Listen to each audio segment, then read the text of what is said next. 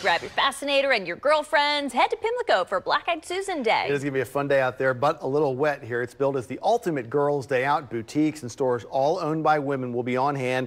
Champagne, horse races, lots of fun. WMAR 2 News' Megan Knight is live right now at Pimlico. Uh, is that a fascinator? Is that what we're calling the fa fascinator? Is that what yeah. that is? Okay, so I just am not familiar, yes. but it looks Good terrific, job, Megan. Yeah, thanks. You got a preview of Black Eyed Susan Day.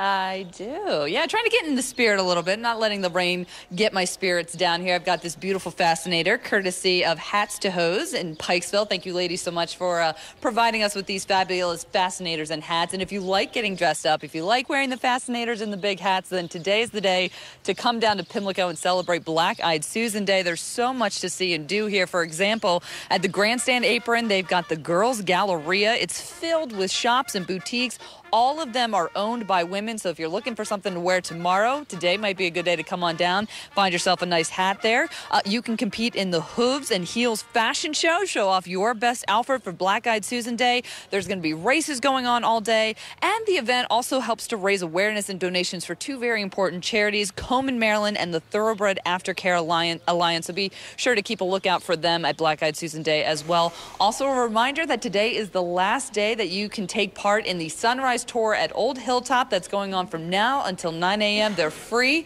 First come, first served. Just don't forget your rain boots and your umbrella. Live at Pimlico, I'm Megan Knight, WMAR 2 News.